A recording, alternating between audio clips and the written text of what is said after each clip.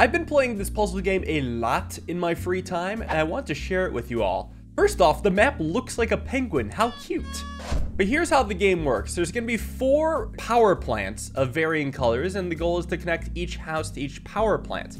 Now you can do this in various ways. You could draw wires that could go all the way to the power plant, and it connects with a line. However, this house can't do that because it's out on an island. So there's varying mechanics to help you traverse varying obstacles, one of them being an underground pipe. You can take the pipe and drag it any direction, cardinal or diagonal, and that lands it right next to the power plant, which has its own power. However, there's other methods. I could delete this pipe, and then I could say connect the power plant to this one. What that does is make every one on the map, such as this one, also connected to this orange. After everything's connected, you finish your turn and you get to select more resources because this is actually a resource management game. Every single turn, new stuff is going to keep popping up and it's going to cost you more and more to connect to all the varying power plants. Like this yellow could connect to the two and then we could probably connect it to both houses like this. And it's gonna get overwhelming pretty quickly because there's 51 turns and we're only on turn two. Now I get another option. I could choose hammers. You may have noticed that not all tiles are created equal. Some are smooth. The bumpy ones are covered with rocks and need to be destroyed by hammers in order to go over with wires. So the blue house has a three. I could connect to the three. Sorry, the blue uh, power plant as a three. I can connect this blue house to the three. This other one in the middle of nowhere. Let's see where the pipes go. Well, that's actually very very convenient pipage across the gap here, giving the penguins embraces. And every turn I get a choice, I'll go for wire and pipe. And this has actually been very generous right now. The uh, purple showed up right next to the purple power plant. This one, however, has to take a pretty long journey. Or does it? I mean, I could spend a ton of pipes or wires, but I could actually just do pipes here. If I connect this way and then make this pipe connection, we might be on to something here. Just gotta connect this whole setup and now we got a clean purple here. It's good to be optimal ahead of time because I'm sure it's only gonna get worse. Yeah, now it's gonna start getting a little testy. Again, I think I wanna keep using pipes to my advantage. The pipe has to be built directly on the edge of a chasm, which means that this is the realistic connection for the orange. I'm avoiding the rocks right now, and I think purple can just go around without any issue.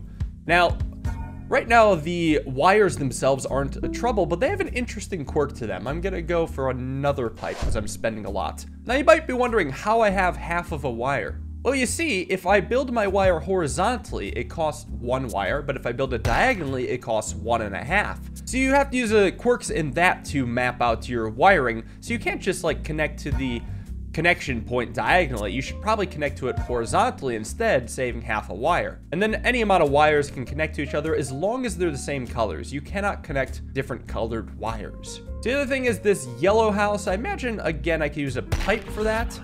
Just connect it like so, and then go to my next turn. Two pipes are 16 wires. 16 wires is an awesome bounty. I'll take it. And thankfully, that's a pretty easy connection. The orange I could do a little bit of shuffling for. If I just connect orange like so, I could have yellow go around it. And actually, I wouldn't even need to connect it to. It would just be quicker to connect to this other house. So technically, two doesn't have to be a yellow connection right now. So I'll turn it off.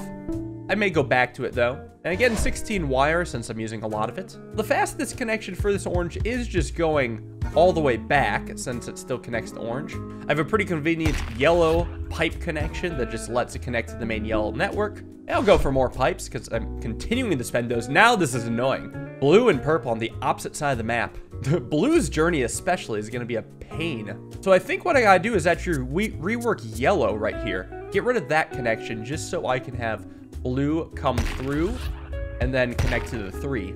That would mean yellow has to go around the long way.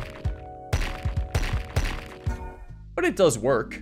However, what about the purple? Well, I think the purple actually has an alright way. If I remove this path, I could connect purple to four, which then can finally be used as the portal to the purple factory. And then I could connect yellow this direction. It is starting to use quite a bit of pipes, and I will be running out, but it's actually more pertinent is hammers. I'm down to 17 hammers, and there's a lot of rocks left, so it's important that I keep making those. The yellow connection seems pretty easy. I just do a diagonal pipe and then connect to the rest. Orange, on the other hand. Hmm. Now, I think the closest connection's on the bottom. However, we will see I can't overlap with the purple line, otherwise it becomes purple. I think there's a pretty easy solution to this. You just kind of change the direction in which these purples and oranges flow. So I could build the line around, connect the other orange, and then bring it back home to the main orange line. That's very hammer expensive, also wire expensive. Thankfully, I can choose both. Uh, this one seems a bit more manageable. Yellow has a nice connection, like all it takes is one pipe and it's connected to the main line. The other yellow, it just needs a couple more pipes, but the idea is the same. I guess it's a long pipe traversal here, but it does work. And now we can see the resources are really starting to hurt. I'll go two pipes right now. I think I'm gonna need some blue pipes for this. Okay, this is a pretty fine blue pipe. Relatively cheap. The purple doesn't look that bad either. Because all you gotta do is actually just connect that directly to the other purple house. But I am down to 8.5 pipes and I'm not offered any hammers or pipes. Probably hammers, just because I imagine I've been using the most of my pipes. Thankfully, the blue connection is easy and the orange connection is easy as well, but I'm down to 2.5 wires. Okay, 16 more wires. The blue connection is easy. The orange also is easy because I can go straight to the power plant. Haven't done that in a while. I think I still need more wires. 16 wires is a blessing. Again, the yellow connection is easy, but blue, gonna need to think about a bit more. Sure, I could just wrap the whole map and spend a trillion wires that I don't have, but there's gotta be something else. I kind of want the blue to connect in with the three here, so I've got to do a lot of work. What if first I destroy this yellow line? Yeah, that isolates a ton of yellows. However, I could then change the orange line more convenient to yellows. That would look like this here. This way, yellows could connect back to two, and here we are again. I then can actually delete this direct orange connection, get a pretty easy other orange connection. Then, I, oh, I can't quite pipe, but surely there's a pipe here that's friendly to me. Yeah, blue pipe that kind of goes along this path is okay. Then I can do a slight optimization, delete two and a half wires here, replace it with one and a half wires. Every little bit's gonna count here. Definitely need more hammers since I'm at nine, so I'll take both wire and hammer. The top blue isn't so bad, just kind of snake it around directly to the three, because it's closer than the power plant. Blue on the bottom though, that's gonna need a pipe. Now this here is a very convenient piping spot, and I honestly couldn't be happier about it. I'll connect the blue, and orange does not need to do that much more work. And I am very short on hammers. Yes, it means I'm taking a pipe and a hammer.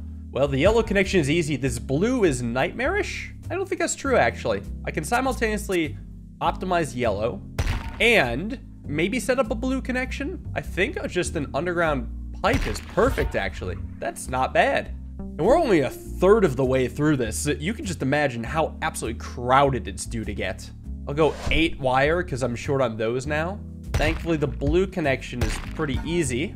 Orange also should be easy. I just reroute yellow a little bit, and then it's part of the game. Now I could delete this one and a half wires and replace it with a full wire. What's next? I definitely need hammers too. I'll take wires and hammers. Uh, the purple connection is easy. I'll just preemptively optimize its line so it uses as few as possible. The orange looks easy as well. I just need the right wire connection. Because, I mean, there are so many options right here. I think I'll go with this option. I can't go wrong wires and hammers. Two easy connections. A breeze. Thank you. Now I'll take two pipes because I was short on those. The orange house doesn't look too bad as long as yellow just simply makes room for it. Diagonally goes around and orange connects straight. Oh, blue is super easy. Awesome. Wires and hammers. I still need more hammers. So purple, I think, has a pretty easy connection if I go with a pipe across the here. That means I can just connect to the purple wire real easily. I also noticed orange could save some wires at the expense of a pipe. At least this specific orange. I think then I could just make a simple pipe connection here, hook up orange, and then save a pipe down below, or a wire down below. Now I'm really good on wires. Blue also has a pretty easy pipe connection. I'll connect it to this spot to connect to the three because I feel like it. But now I definitely need pipes and hammers. I'm good on wires for this foreseeable future. The blue on the bottom looks like it's gonna connect beautifully. The yellow has a little bit more of a rearrange to do, but it looks like if I rearrange purple, yellow can squeeze right through. Still good on wires. Well, I'll take the pipes.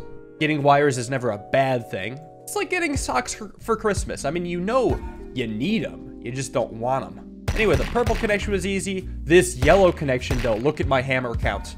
I mean, that's the easiest way, but I have two hammers left. I need hammers! Unfortunately, eight wires and one pipe will do. At least the orange has an easy connection here, and I can save two wires just to use one and a half wires. And yellow actually works really well. Pipes, just need a pipe, no wires. I need hammers, I got three hammers here. Okay, the yellow connection's easy. The purple connection actually looks super easy. It's just one pipe directly to the power plant. So these small islands are being taken care of. The three hammers no matter what. I think I'll actually then go with wires because the small islands are being taken care of. I think I'm gonna need to spend more wires than anything else. This blue house looks intimidating, but I think if I delete the purple, I can have a nice blue pipe connection through here, which means I could connect it and then save half of a wire with this maneuver. Now, actually, I could be a little craftier here. This bottom could be shaved way better than I expected, because let me just delete this pipe I just made. What if I made a pipe directly to the left? That connects to a blue house. And there's a few benefits of this. One, it's a little faster. Two, I could kind of change up how the orange and purple here now work. If the orange kind of then comes around, I could do a direct pipe right here, and then the purple connects easy, which is the main point. And it leaves a bunch of prime real estate on the edge. I'll keep going pipes and hammers. They make the world go round. Easy purple connection. Oh, that's an island blue. Okay, that's fine. You just delete the yellow, allowing the blue to connect. And that means the yellow is just gonna simply have to go around the long way at the expense of some hammers. And now I will take the mother load of hammers. Thank you. Oh, yeah, so now there's so many houses that they'll just build on the wires, making life extra tricky for you. I've got to delete this whole orange wire, maybe build one here. Or I think it's better to go the other way, just because I most likely want to connect blue via pipe, like that. But the other blue, I mean, that is isolated. Now, it's just one yellow I'm disconnecting, so maybe it's not all that bad. I could figure out this yellow and then just let the blue connect the blue this way. And this problem could be solved by deleting the purple and just having a simple yellow connection to the mainland. And actually, I think that's fine because then I can just make a diagonal blue, have the purple come around kind of awkwardly and clean it up to get to four. Every turn's gonna be a puzzle, but I got a rare selection. So you may have noticed I've never talked about generators and jumpers. I'm gonna kind of keep it that way because the main reason is that the game actually rewards you for not using these two specific things. I'll take the 20 wires over the 8 hammers. And like there's a score at the end of the game that gets deducted by number of generators and jumpers used. So I'm not gonna talk about it unless I have to. Anyways, the yellow connection is simple, and this purple is built on a pipe, which is brutal. However, I'm pretty sure I can clean up this pipe because I have a different yellow house I didn't have before, which is a really easy pipe here. That's less of a problem than it looks, and the purple connection actually connects directly to a purple pipe, so we're just crisscrossing everything. It's beautiful. I'm great on wires, I'll take pipes and hammers. Damn you, orange. Thankfully, the leftmost orange is pretty easy. I just need to slightly reroute blue, and then I have a functioning connection to the neighborhood. Now I wonder, if I have the horizontal connections like this, it leads me at 38? However, if I go around like this, I have 39 pipes and two fewer hammers. And now, I mean, I can fix blue here, but the problem was never blue, the problem was orange. And actually, I'm gonna have blue go under, because it saves half a, half a pipe, and I think I can have orange go over like this. Now, this looks like it may be a problem until I just reroute orange to go around whoa, yellow the other way. Like so. That way I can connect yellow to the pipe and the yellow network. Still doing great on wire. Let's keep up the other stuff. Purple's gonna need a pipe. However, its pipe connections are inconvenient. However, I think I can have a more convenient blue network right to the left of it or the bottom of it. Because that can connect to the house, which makes room then for the purple connection. This blue connection looks bad until I delete the orange line, and then the blue can connect directly to the blue. Orange can go around back, just spending a lot of hammers. Down to four. Oh, eight hammers. That's huge. Ignore the generator. Yellow has an easy connection. Orange also has an easy connection, but then that makes blue very sad. Oh, look how trapped it is. Now, I do see one way out with pipes, and that would be by deleting these yellow connections so that I can make a blue pipe connection to the blue network like this. And thankfully, that leaves a pretty easy yellow uh, pipe connection directly to a yellow house. It's just incredibly expensive. And now I'm low on pipes, so I'll take another one. The yellow landed on a yellow line, but the blue house is so bad. Oh, that was a pivotal spot, so I have to delete the yellow pipe and reconsider now. Now, thankfully, the blue connection itself doesn't seem that bad, but that doesn't mean it doesn't hurt. It's still extremely painful. Actually, what I wonder is, can I do a long pipe? Look at this pipe. That's actually a savior for the yellows because I can just connect right to the ye yellow network. Now that does leave two other houses unhappy, unfortunately. But I mean, it might not be as bad as it looks. Maybe there's some equally crazy yellow pipage I could do like so. Oh ho ho. Also, I can clean up orange a little bit. Save a couple more wires. I'm having to get very creative with these pipes. Let's go more hammers. Can always use more of those. The yellow spawned on the orange pipe. I can save orange, but yellow is having troubles. Now, yellow doesn't look too bad as long as I readjust the purple. See, the purple goes straight across this chasm, but the pipe could also go diagonally, and that's a better connection. It actually saves a lot of wire and doesn't cost anything extra. It also leaves room for yellow to come across diagonally and then easily make it to a yellow house. Now this purple is in the middle of nowhere. You moved into the wrong neighborhood. If I had more pipes, this would be fine. I do see an optimization, which is absolutely nuts. So instead of the extremely short blue connection to the uh, power plant, you delete it and you let it go through its wire or its pipe across to this blue house, which would then make a new pipe to here connecting to this blue pipe, which zigzag its way over to the three. That way, the purple could actually come out and have proper access to something. Now, it would need a pipe for that access to happen, but I'm pretty sure it would only need one. Where can I save one pipe? I wonder if I can optimize the blue up here, like get rid of the pipe, and blue and yellow could just do a whole reworking here. For starters, yellow could connect directly, so could most of blue. Then I'm just left with one sad blue house. But I think if I rearrange some of the yellow wire, it could start to make it its way back. Because the yellow reconnection is easy. The orange, less so. Actually, this can still make it back if yellow wraps around here, and then orange sneaks through right here. Let's just save a wire or two. There we go, I have my pipe now. So where does purple pipe? Well, I can make this pipe connection and then save a wire. Well, that was convoluted, but the game is just beginning. I need more pipes. So one of them was already done. The other one's this blue, which actually is really frustrating. Mostly frustrating because it looks like I just need to spend an extra pipe and pipes are low for me. Because I was thinking blue pipe just connects right here and then I just need a purple pipe. But I, I am out of pipes, so I'm going to figure out how to actually save a pipe in the future. Or just get 20 wires. I don't need 20 wires. Look how many wires I have. I'd rather take the hammers, actually, so screw the rare. Purple connection's easy. Yellow connection probably needs a pipe. Great. It is just a one pipe solution though, because it looks like I could just build right here and then pipe directly across the chasm. I mean, now you can see why I like the game so much. There's a lot of interesting optimizations. Hmm, I think I found the optimization. This is nuts. So working backwards here, I'm gonna start by deleting this yellow path. That means I can get rid of this pipe here with blue. Now blue can just come around easy to connect with other blues. So what does yellow do? Well, in order to free up yellow, I gotta first delete this orange path because orange can just come around to here and then connect to the orange house, same amount of pipes. So yellow now has the possibility to snake around the edge of the board and link up, leaving me with an extra pipe. This is unbelievable. It just feels so good for your brain. Now I'll take 20 wire over 16 wire. Oh, blue would be super easy if I had a pipe. Just look right, they go right to the edge and just hop the gap. I want to reveal something interesting about orange. This long snaky path that it's doing doesn't actually need to converge on a wire out here. Or, or the pipe out there specifically. That comes back.